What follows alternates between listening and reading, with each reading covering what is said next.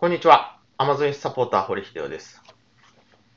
今日は商品選びの中でね、えー FBA 利用者、どういうふうに区別つけるか、まあ、その質問がね、えーあったんで、それについての解説動画です。まず商品選び。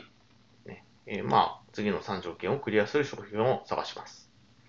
FBA 利用者が2名以下の商品、ランキングがある商品、仕入れの3倍で売れる商品というのを探すんですけど、このね、FBA 利用者、区別の付け方が、以前はプライムというタグがあって、それをクリックするとね、FBA 利用者出てきたんですけど、今ちょっと表示が変わりましたんで、まあその見方です。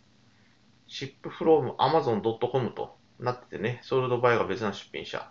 まあ、これが FBA 利用者です。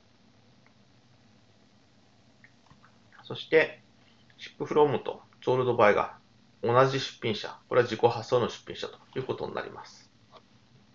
まあ、言われてみればそうだねという感じなんですけどね。まあ、なかなか気づかないと見落としがちなんで。まあ、そんな形で FBA 利用者が2名以下。でランキングがあると。仕入れの3倍で売れるというのをね、仕入れて納品します。